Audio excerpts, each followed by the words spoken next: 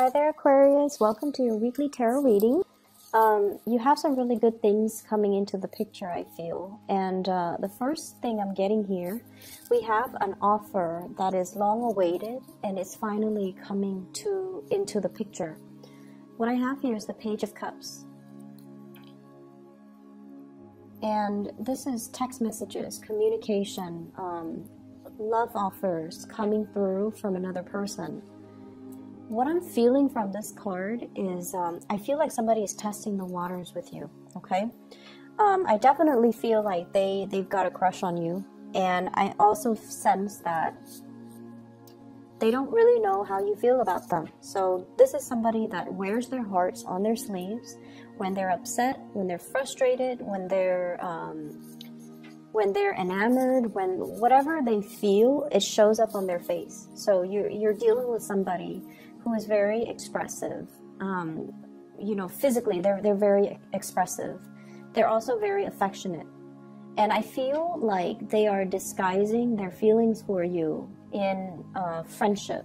So they might put on an, uh, a front that they're, you know, trying to be your friend, not in a fake way, but I feel like they're uh, putting on a front like, um, let's be friends. But then deep down, I feel like they, they have feelings for you and they would like to explore it further. And so I see somebody um, coming in and, you know, asking, Do you want to do this? Do you want to get a cup of coffee? Do you want to look at this and talk about it?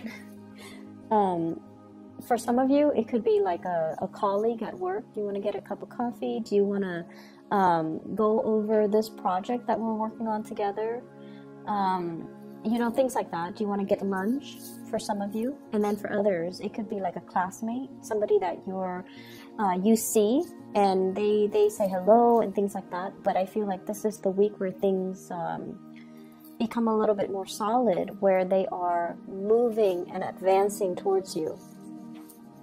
The energy that you project is, I'm, I'm sensing many of you, you've been really, really hurt and disappointed in your love relationship and I almost feel like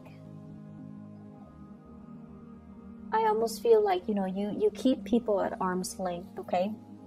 You don't you, you enjoy your own company. You're very very independent and you hate waiting on other people. You just you don't like waiting on other people. And so you don't actively seek out crowds. You don't actively seek out other people. And I feel like for you, it's okay. You know, your energy is very contained. But I also feel like there is this, um, there's a sense from other people that they're trying to reach you. They're, they don't understand why you're so content being on your own.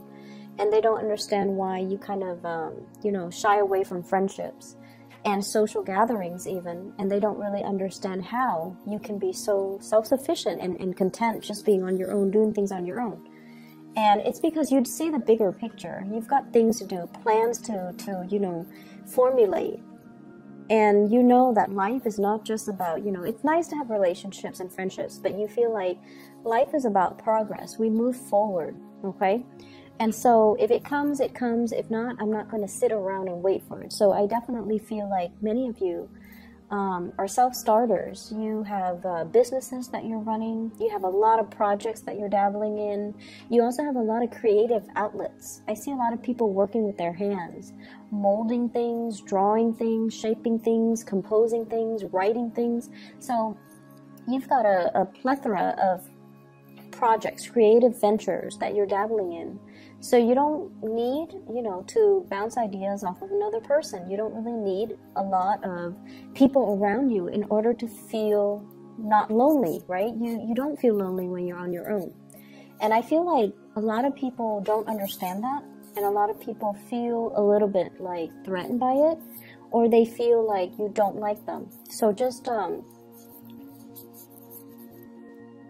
I would say, you know, aim to connect a little bit more. I feel like it'll be good for you and to also not um, create misunderstandings, okay?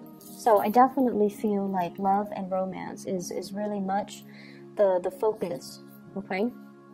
So I also feel as well there's communication um, coming through from the past from somebody who's having a lot of trouble letting you go.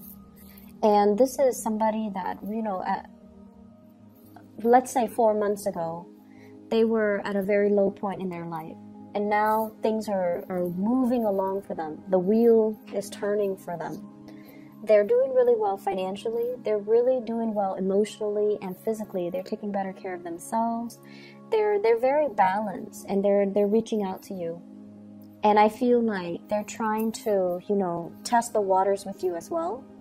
But I'm also feeling at this point you are, you know, closing off your heart to this person and you're no longer going to be you're no longer going to be feeding into that. Okay, so for whatever reason the relationship ended, it doesn't really matter at this point because you're no longer feeling it. But I feel like the other person is doing really well and they're happy and they're reaching out, and I feel like you're not going to be reaching back. Um, what I'm getting as well is when it comes to finances, many of you are saving up. You're doing handling your money really, really well. And I also feel there's this energy where you are kind of beating yourself up over, uh, I shouldn't have squandered my money in the past. You know, like for the past four years, um, there there was a there were a lot of opportunities where you could have saved up, you could have stockpiled your wealth, and I feel like you might have wasted it on frivolous things and you might have wasted it on you know buying things that you didn't need just like frivolous spending.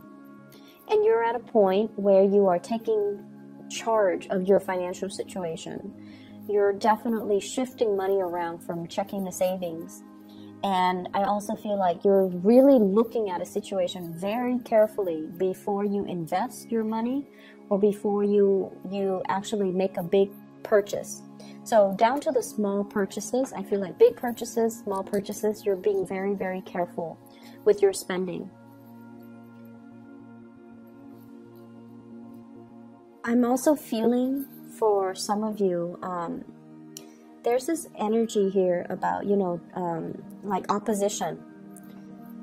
And I feel almost like growing up, it was really confusing to for you guys to kind of find a middle ground.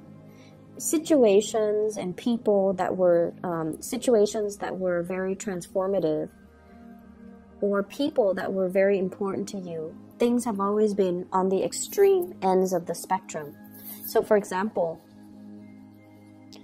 um, you might have like done work in one situation where it was very, very customer oriented.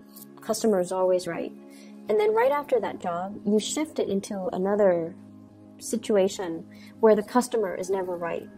And so you dealt with really, really extreme ways of doing things.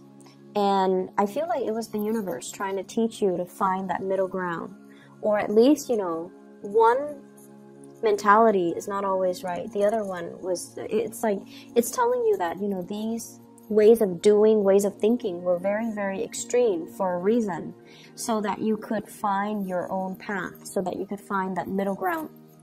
And then I also feel like for some of you, mom and dad, uh, one parent was really, really strict, the other parent was really lenient. Or one parent was very, very neat and orderly and organized, and the other one was just a slob. And so you're dealing with all of these oppositions in your life so that you can find that middle ground for yourself.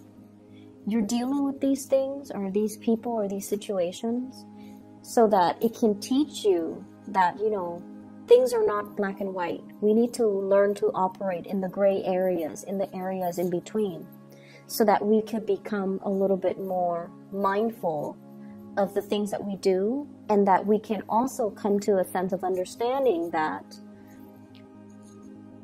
one solution doesn't fit all people, doesn't fit all situations. Okay, one solution is not all encompassing. So I feel like you're given the opportunities many, many times in your life through these interactions so that you could learn to be a lot more flexible.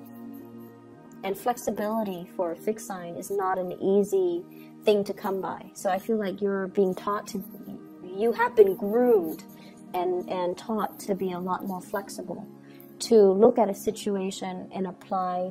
You might even need to apply different rules, different protocols, different ways of doing to meet that's the, the specific needs of that individual or the specific needs of that situation, whatever it calls for. So it, it's almost like everything is very context specific and we can't apply one rule, one set of overarching rules to resolve the problem. Um, I'm also sensing as well there's like a, a grandiose idea that's being formulated in your head. It shows up here as the Ace of Swords. And this is like big plans, big ideas, scoping out new territory. But what I do feel here is it definitely involves the restructuring of the ways that you work. Okay, so the, the ways in which you earn money, the ways in which you, some of you could be self employed, some of you could work under other people, but you're thinking and hatching out some type of plans for you to either change up the way you do things, think of a new way to even um, handle the workflow, and think of a new way to streamline your work processes because many of you are very efficiency oriented. Like you, you want things to be efficient. You don't want to spend too much time wasting too much time on one specific thing. And so I feel like there is a, an, a big plan, a big idea coming into fruition that will allow you to streamline the, the things that you work and streamline the, the ways in which you work and the things that you do. I also feel as well there's some major breakthrough when it comes to communication in your work environment. You're able to reach people. You're able to resolve problems for people. I see you kind of like playing the role of a consultant this week people are coming to you and they're a little bit distressed and you kind of have to make sense out of the situation so my advice overall is um, i feel like listen to what they have to say but they're going to be coming to you a little bit frazzled you know like they're emotionally very very up and down and so you have to make sense of the situation for them and you have to kind of like summarize very objectively what they're trying to achieve so that you can help them towards their goal, towards their path. So I feel like you're there to facilitate, uh, to, to bring insights into their situation because you're objective. And because they're emotionally so wrapped up in it they don't really see a solution. So you're helping them in in that way. I also feel as well some major major uh, compensation like a financial windfall coming through for many of you. Um, and i feel like it's going to be you know um, it's going to add to your coffers and it's going to be quite successful okay so you have some really good news coming in on the financial front I also feel as well opportunities to reconnect with family members. And like I mentioned before, if you've dealt with situations that were very, very extreme, people who are very, very extremes with their opinions, with their thoughts, with the way that they do things, and um, once again, that opposite ends of the spectrum and trying to find that middle ground, trying to be mediator. You might even be called upon to, to play the middleman and to be the mediator in a situation that might have been very contentious between family members. I'm feeling as well, um, you know, your hangups regarding marriage, regarding relationships, a lot of it stems from the fact that you're looking at your parents' relationship, you're looking at other people who are close to you and their relationships. And I feel like for many of you, you might not even believe that marriage lasts. You might not even believe that relationships are meant to be forever. You might not even believe in like soulmate connections. But this is the week where you start to see that we don't have to be the same in order to work together. We don't have to be the same you don't have to think like me. You don't have to act like me in order for for us to fall in love. So your ideals your visions regarding love and relationships are are slowly softening and are slowly changing because you're starting to see that you know on a human level we all have a lot of similarities. We don't have to be the same um, types of people to be uh, the same ideal match. Okay, so I feel like you're coming into some really major awakening when it comes to relationships. I keep getting pulled back to this card here, the Page of Cups, and um, I definitely feel like for many of you, relationships have been very, very rocky for you guys, especially since the summer time frame. I'm seeing like the month of July it was a there was a lot of flirtation, push and pull, back and forth, and yet the situation was um, the situation just didn't pan out the way that you hoped. And I feel for many of you, you're like, I'm showing my feelings, I'm showing my heart. Why aren't they receptive? Why aren't they responding? Why aren't they, you know, reciprocating? are they noticing it or what I, what am I doing wrong? So some of you are thinking um, that you're doing something wrong, that there's some miscommunication, or like, what else do you expect from me? So I'm, I'm seeing that energy. And I feel like some of you are, you know, you're, you're taking one step forward to reveal how you feel and then you're in a position where you feel slightly embarrassed and you're like oh no i'm, I'm too vulnerable and then you take a step back.